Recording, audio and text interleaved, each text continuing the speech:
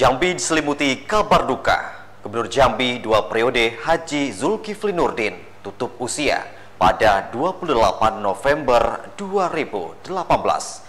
Banyak kenangan yang masih terbayang. Rasa kehilangan yang begitu besar atas jasa-jasanya. Catatan sang gubernur 10 tahun Zulkifli Nurdin mengabdi untuk Jambi. Kami menelaahnya untuk Anda.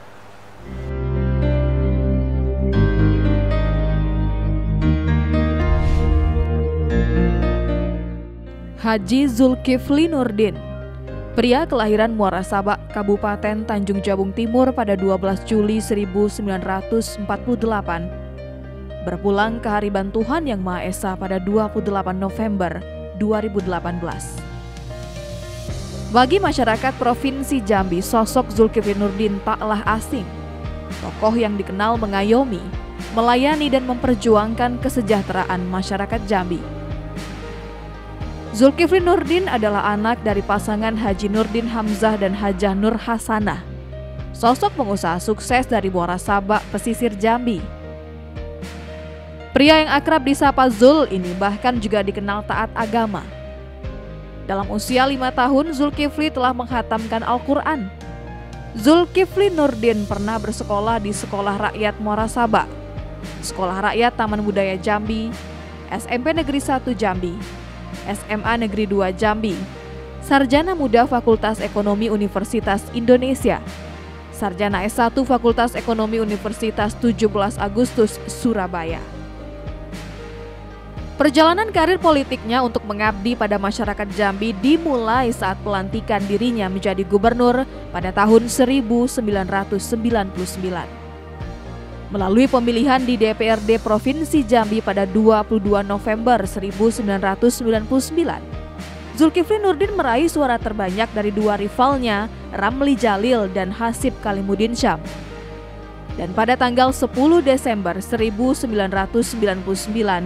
Zulkifli Nurdin resmi dilantik menjadi Gubernur Jambi dalam sidang pleno istimewa DPRD tingkat 1 oleh Menteri Dalam Negeri yang pada waktu itu dijabat oleh Suryadi Sudirja memimpin daerah dalam kondisi ekonomi yang terpuruk. Di saat Indonesia mengalami krisis moneter, bukanlah perkara mudah. Dengan jiwa wirausaha sukses yang dimilikinya sejak kecil, Zulkifli Nurdin berusaha keras mengangkat pendapatan asli daerah Jambi kala itu. Krisis pun berlalu. Stabilitas pemerintah dan masyarakat Jambi dapat terjaga dengan baik hingga dirinya mengakhiri masa jabatannya sebagai gubernur Jambi periode pertama 1999 sampai 2004.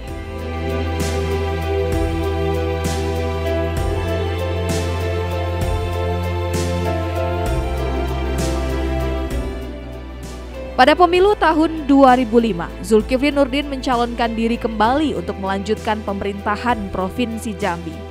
Berpasangan dengan Antoni Zaidra Abidin, 3 Agustus 2005 pasangan ZN Azhar resmi dilantik untuk memulai kembali menata pemerintahannya. Pada periode kedua ini beragam tantangan pembangunan harus dihadapi Zulkifli Nurdin di tengah mimpi besarnya memperkenalkan Jambi di kancah internasional.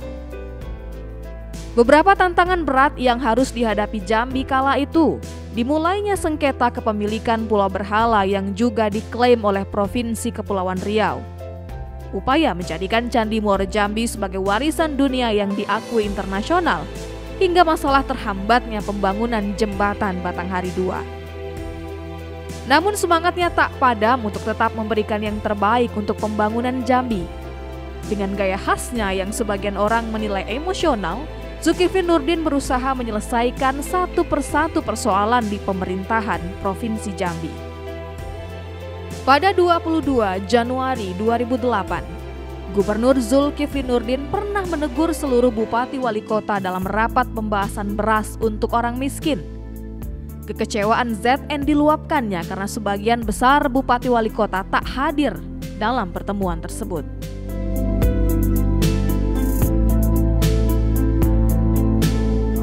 Saya ingin tahu pada malam para bupati yang diwakili saya mohon Pak Wakil Bupatinya menjelaskan kepada saya dan para buruh ini Apa sebab tidak? Kalau untuk berpesta pora, untuk nyanyi segala macam, tidak usah datanglah. Tapi bagaimana rakyat miskin yang sedang berita sekarang itu yang ada dikembangkan oleh bupatinya langsung. Tapi tidak datang.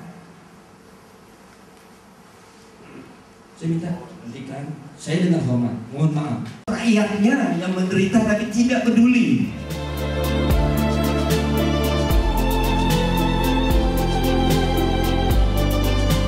Perjuangannya untuk mempertahankan Pulau Berhala menjadi milik Provinsi Jambi juga terus dilakukan.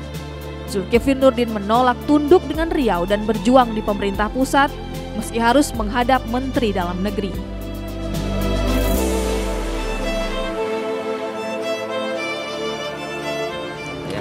Nah sekarang ini nampaknya masih uh, tergantung di uh, Departemen uh, Dalam Negeri.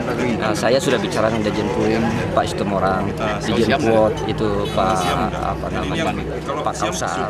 Pada prinsipnya mereka telah pelajari. Memang mereka menyetujui itu ada milik.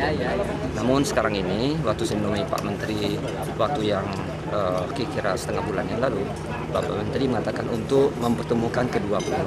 Nah, saya meminta suatu keputusan Pak Menteri karena saya tidak bisa memfasilitasi untuk bertemunya dua gubernur. Jadi yang bisa memfasilitasi adalah uh, Pak Menteri. Nah, saya akan menghadap Pak Menteri. Nah, dijadikan sore ini sebagai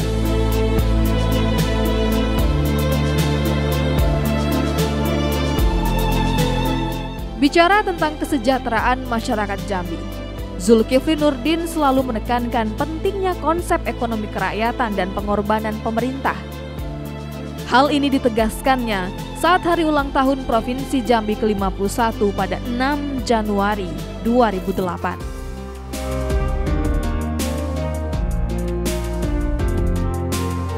kembali lagi saya berharap di samping kemajuan-kemajuan lain, tetapi kita tidak melupakan ekonomi kerakyatan. Ekonomi kerakyatan ini tidak di, bisa diukur dengan kacamata ekonomi. Seperti Thailand saya katakan, 40 tahun perjuangan mereka baru mereka sukses ya.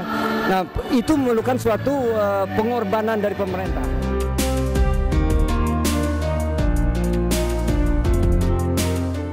Bahkan sebagai warga negara Indonesia, Zulkifli Nurdin mengingatkan kepada kita semua agar tidak pernah menghilangkan rasa bangga dan kecintaan kepada negara kesatuan Republik Indonesia.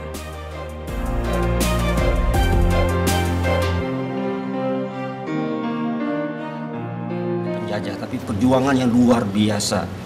Perjuangan yang mengorbankan jiwa, raga, darah, dan air mata.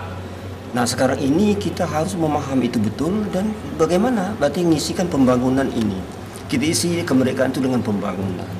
Dan juga jangan lupa dan beriringi waktu jangan jangan dia uh, erosi kecintaan kita kepada bangsa dan negara kita ini. Karena luar biasa bangsa negara kita ini luar biasa. Di mana negaranya sangat subur, kemudian Eh, potensi sumber daya alamnya berlimpah ruah dan sebagainya.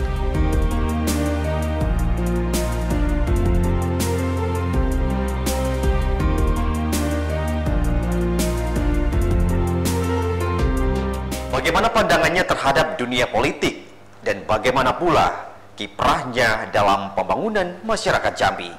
Telah segera kembali.